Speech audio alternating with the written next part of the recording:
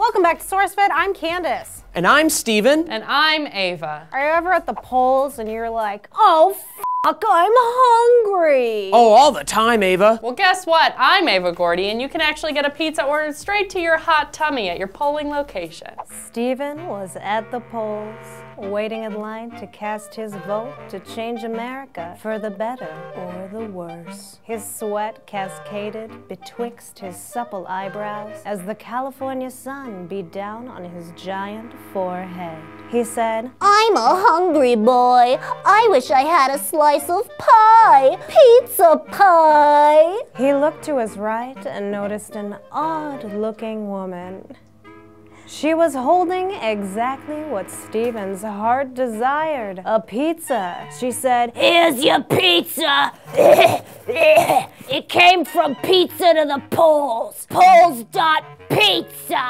Steven grabbed the pizza. He began to eat. Oh, shit. Pizza to the polls? I never would have thought. The end. It's a website called Pizza to the Polls, and if you're facing a long line on election day, all you have to do is go to polls.pizza. How did they get dot pizza? I want Candace Carrizales. Dot, where's my dad? And I want Steven Suptic. Dot, is it a boy or a girl? Ooh, ooh, I got one. Really good one. How about Ava Gordy. Dot, is it a boy or a girl? Steven just said that. But it still fits. Steven, Ava, Steven just said that. Ava.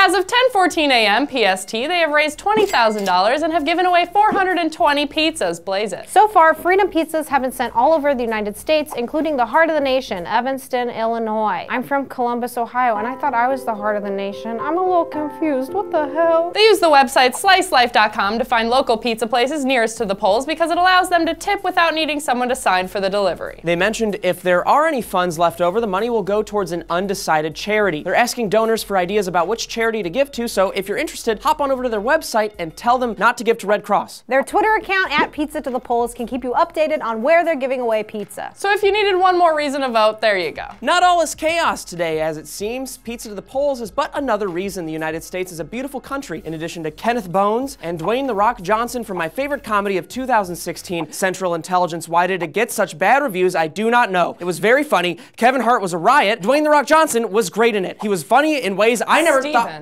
Steven. In ways I never thought. Steven. Hey, Steven, what's actually uh, your problem? Do you guys like Steven Suptic? I love him. We're related. Do three people on a white wall make you uncomfortable? Do three people on a white wall make you uncomfortable? Do three people on a white wall make you uncomfortable? Do three people on a white wall make you uncomfortable? Do three people on a white wall make you uncomfortable? Do three people on a white wall make you uncomfortable? And hey, today might be election day, but it's also the last day to get 10% off these high quality snapbacks from 4humanpeoples.com. They feature custom printed bills like this space one and this one over here, and a 3D embroidered FHP logo. Go get yours today at fhpmerch.com slash fhphats. Thanks for watching! I'm gonna go with C. Men do not have to register. Damn it! Um, let's. Uh, I guess I'm gonna have to say that. Uh, Ooh, wee, it is the best show on Netflix right now, I'd say. I before I go to sleep, I've been watching old cartoons, Like what? Tom and Jerry.